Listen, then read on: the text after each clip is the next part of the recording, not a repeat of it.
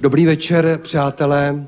Já se jmenuji Tomáš Matonoha a přijel jsem mezi vás z Jižní Moravy. Dámy a pánové, dnes večer jsem si pozval vzácného hosta. Je to zahraniční host, který přijel z jižního Španělska ze Sevilly. Jmenuje se Pedro Carlos Coubertin de la Silva. Dámy a pánové, Pedro miluje své národní španělské kulturní tradice. Pravda, Pedro je od narození hluchoněmý.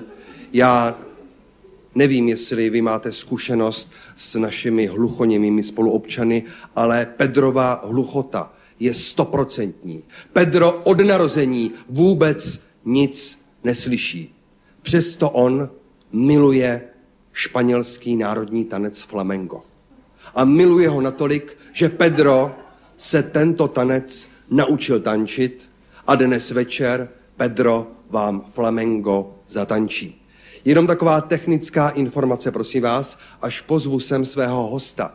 Netleskejte, poněvadž on neslyší a hluchoněmí spoluobčané, když mají nějakou kulturní produkci, tak tam se netleská, ale takto se na ně mává rukami.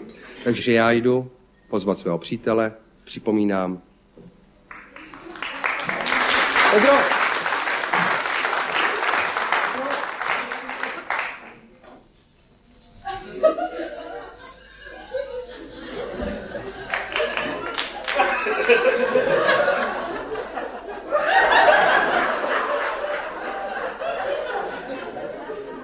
Buenos días. Esta información. Cortos de Flamengo. Es nacional español. Cortos esto es información. No cortos información.